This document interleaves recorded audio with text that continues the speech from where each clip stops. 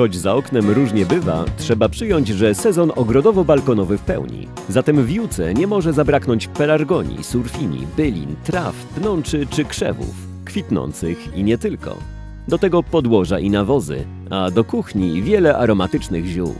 Na ciepłe weekendy ogrodowe meble, a na pierwsze komunie ozdoby w bieli. Zresztą czego u nas nie ma? By się o tym przekonać, zapraszamy do Juki w Swarzędzu Jasinie, także w soboty i każdą niedzielę.